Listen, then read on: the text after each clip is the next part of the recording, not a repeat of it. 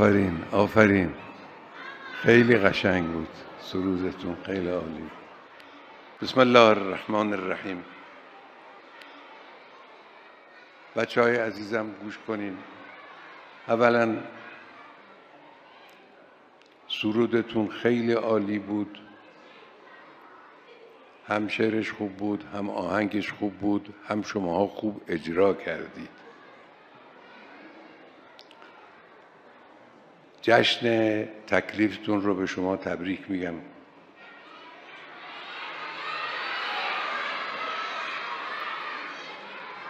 عید ولادت امیرالمومنین علیه السلام رو هم به همه شما دختران عزیزم تبریک عرض می‌کنم. انشالله که موفق باشید. خب شما دختران عزیز نوگلان عزیز من. امشب نماز واجبتون رو به جماعت در این حسینیه به جا آوردید. خدا انشالله قبول کنه. جشن تکلیف بچه های عزیزم یه جشن واقعی است. واقعا جشنه. واقعا ایده چرا؟ چون شما از لحظه ای که تکلیف میشید با خدای متعال حرف می‌زنید خدا با شما حرف می‌زنه. یعنی شما این قابلیت رو پیدا کردید که خدای متعال با شما حرف بزنه به شما تکلیف بده. و شما اون تکلیف رو به جا بیارید. این یک رتبه با ارزشی است در عالم انسانیت که انسان بشه مخاطب خدا خدا با انسان حرف بزنه. جشن تکلیف معناش این است که شما دیگه بعد از این بچه نیستید کودک نیستید. شما نوجوانید. شما نوجوانید مسئولیت پذیرید. می توانید در خانوادهتون در محیط مدرسهتون در محیط های بازی با دوستان می‌تونید اثر بگذارید. می توانید دیگران را هم به راه راست شما راهنمایی کنید هدایت کنید. این مسئولیتی است که بر عهده همه ما هست.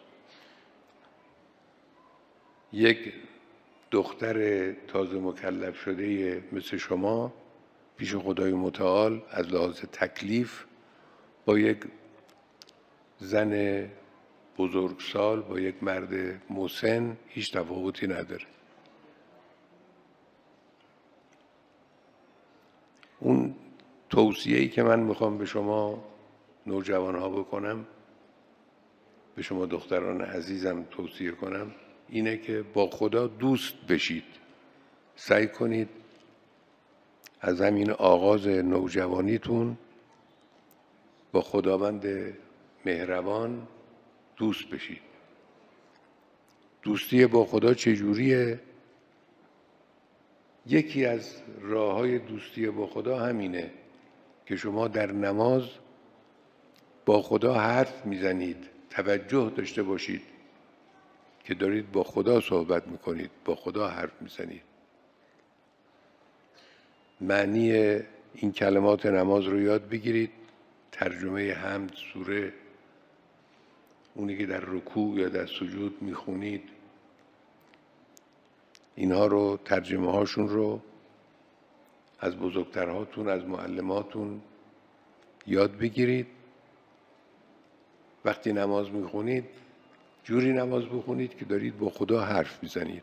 این میشه دوستی با خدا. یکی از راه های دوستی اینه. یکی دیگه از راه های دوستی هم این است که مواظب باشید اون کارهایی رو که خدا گفته نکنید نکنید. اون چیزایی رو که خدای متعال گفته انجام بدید انجام بدید. راه دوستی با خدا اینه و شما امروز دلهای روشنی دارید دلهای نورانی دارید دلهای باصفایی دارید. می توانید از همین امروز با خدای متعال دوست بشید. کشور ما شما می گفتید اینجا ایرانه الان توی سرود شما. به زیبایی این رو تکرار کردید. کشور شما ایران عزیز شما زنهای بزرگی داشته در گذشته. و من به شما بگم امروز زنهای برجسته ما از گذشته بسیار بیشتره. ما زنان برجسته ای داریم در همه بخش های علمی و عملی و جهادی و مسئولیت پذیری و مدیریتی و غیره. زنهای برجسته مهمی داریم اینا مایه افتخارن. زنهای برجسته در کشور هر کشوری زنان برجسته ای داشته باشه اینا مایه افتخارن و در کشور ما زیاد هستند و شما سعی کنید جزو این زنان بشید چجوری؟ درس بخونید. درستون خوب باد بخونید. تکالیف درسی رو خوب باد انجام بدید. کار کنید فکر کنید. کتاب بخونید. تا انشاءالله جزو زنهای بزرگ بشید در آینده. امیدوارم که خدای متعال همه شما رو موفق بداره. شما می توانید در این مبارزه عظیمی که ملت ایران در دوران انقلاب با ظلم و بدبختی و تبعیض شروع کرده می‌تونید در این مبارزه نقش ایفا کنید. همچنانی که قبلا زنان زیادی نقش ایفا کردند و کارهای بزرگی انجام دادن که امروز کارهای اینا کتاب شده پخش شده. مردم می‌خونن زحمات و تلاش های بانوان برجسته ای رو که در طول این سالهای انقلاب در کشور بودن. انشالله شما هم از اونها باشید. حالا برای اینکه بتوانیم نماز اشام رو شروع کنیم یه صلوات بلند بفرستیم.